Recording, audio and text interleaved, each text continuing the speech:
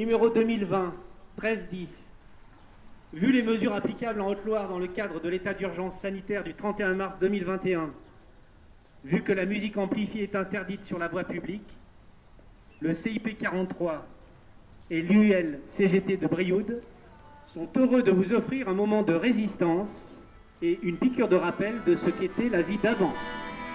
Fait partie des raisons pour lesquelles je suis là moi, c'est euh, trouver un peu de chaleur, être ensemble, et puis euh, se prouver qu'on a encore de la solidarité et que ça pétille. Et ça pétille vachement tous ces mouvements, il y a énormément de, beauté, d'énergie et puis de créativité parce que euh, que ça soit au Puy, à Clermont et ailleurs, il y, a beaucoup d'envie de, de, créer, de réfléchir à comment on s'organise pour après. Euh, et, c'est hyper pertinent quand on s'aperçoit qu'on a quand même dans la société civile des gens qui sont vachement intelligents. Quoi. Et du coup, c'est quand même super chouette de les croiser, de les rencontrer et euh, de voir qu'il y a d'autres projets collectifs qui peuvent se monter. Je pense qu'on peut convaincre une, bonne partie des gens si tant est qu'on ait la possibilité de leur parler. Donc ces, actions-là, elles sont là pour ça, pour faire vivre les mouvements, pour se mobiliser, et puis pour montrer que il y a d'autres manières de faire. Euh, je suis intermittente du spectacle depuis, euh, depuis des années. Euh, je suis chanteuse, musicienne, comédienne. Je travaille dans des, dans des toutes petites structures, compagnies locales en fait, sur le puits. là, on est regroupés dans un collectif pour les précaires et les intermittents et aussi d'autres intermittents qui ne sont pas forcément des intermittents de la culture mais de l'hôtellerie et autres euh, métiers en fait qui travaillent en intermittence qui, qui se retrouvent là euh, sans argent en fait. Du coup en fait on manifeste autant pour les gens de la culture, ça veut dire pour des prolongements de droits parce que là c'est pas ça qui est en train de se, de se, de se profiler en fait. Euh, après on verra, hein, peut-être que les choses vont changer. Mais il y a aussi ces gens-là qui sont des intermittents du coup dans d'autres métiers qui n'ont pas eu de prolongement de droits du tout. Donc il y a, un ensemble de, précaires en fait qu'il faudrait soutenir euh, vu euh, la situation de crise qu'on est en train de traverser tous ensemble. je m'appelle Marie et je suis comédienne. Je viens défendre euh, les précaires, notamment aussi mon métier, la culture, essayer de, de tenter de faire entendre, sensibiliser, prendre, faire prendre conscience à la population d'une situation qui est la nôtre et qui est euh, plutôt difficile ces temps-ci. Mon quotidien oscille entre des moments d'espoir et des grands moments de désespoir. Euh, j'ai une compagnie de théâtre professionnel euh, qui comptait normalement pour la saison une cinquantaine de représentations. Et depuis octobre, ces 50 représentations ont été annulées, reportées, mais rien d'officiel pour le moment.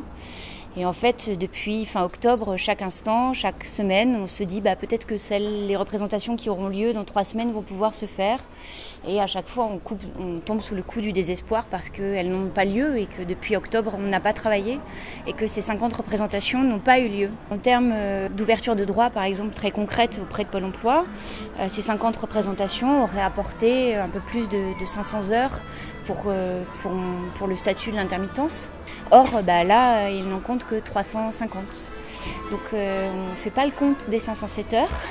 Donc, euh, malgré euh, bah, le chômage partiel et l'activité partielle proposée par la, structure dans laquelle je travaille, et malgré la bienveillance des organisateurs qui veulent bien reporter toutes ces représentations pour la plupart et qui détricotent et tricotent les calendriers, eh bien pour l'instant, je, je ne peux toujours pas prétendre à une ouverture de droit au 1er septembre comme c'est attendu.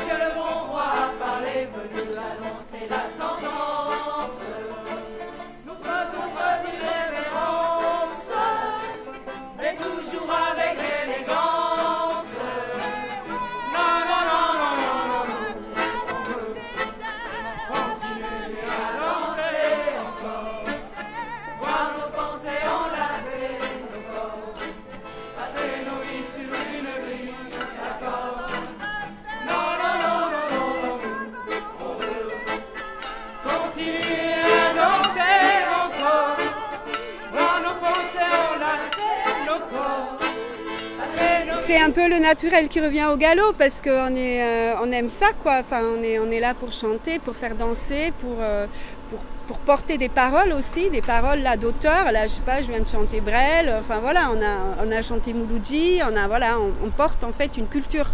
On porte des textes, on porte de la musique et, ça, il y en a besoin.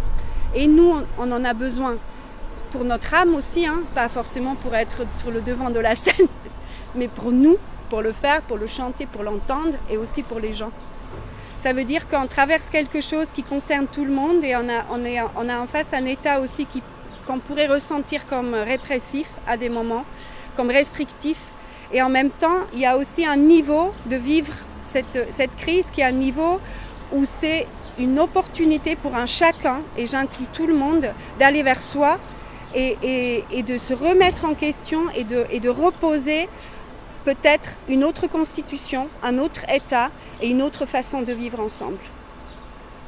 Et bah pourquoi je suis là euh, Moi c'est plus pour la place de la culture dans nos sociétés. C'est-à-dire la... la culture ça combat beaucoup de mots, comme le, racisme, comme euh, la haine de l'autre. Ça apprend le respect, ça apprend le partage. Et moi, quand on me dit euh, la culture euh, c'est non essentiel, euh, je suis vraiment en colère quoi. Moi, ce qui est non essentiel pour moi, c'est les grands magasins par exemple. Ça, c'est des, choses qui, sont non essentielles. La culture, c'est essentiel. On est en lutte. On est en lutte pour l'abrogation de la réforme de l'assurance chômage. Et entre autres. donc, pour, bien dire notre colère, on, va faire un grand coup de cafarnaum. Vous avez vos gamelles. Laurent, tu donnes, un coup d'appel à Capernaum. Une fois que Laurent a arrêté, on enchaîne avec les casseroles, ok?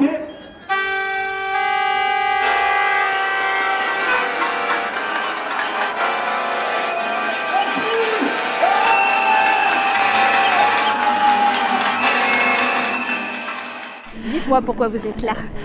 Alors tout simplement pour essayer de dénoncer euh, des choix politiques qui sont faits qui, qui vont à l'encontre de notre bien-être à tous, c'est-à-dire que notamment au niveau de l'assurance chômage, euh, du secteur hospitalier, de tout un tas de choses, il y a, des dysfonctionnements qui me, qui me révoltent. Et je veux l'exprimer. Je manifeste parce que je pense qu'on est arrivé à un point qui, en relation au capitalisme, on est passé à un stade que c'est ou lui ou nous et que si on ne se réveille pas, ça sera la fin pour nous, pour ce qui est humain et pour la nature, pour tout. Bah moi c'est Mathieu, je suis, euh, je suis musicien, euh, je suis compositeur, je travaille euh, donc intermittent du spectacle. je travaille dans, plusieurs compagnies de théâtre, dans, dans, des groupes de musique. Moi, j'habite à Vieille-Brioude. tous mes amis, collègues sont basés sur le puits, donc je, suis très impliqué sur le puits. Mais les intermittents du, du ils sont moins venus aux actions qu'on avait fait avant. Et du coup, on s'était dit c'était l'occasion aujourd'hui aussi de les, de, bah, les faire participer un peu à, cette action-là.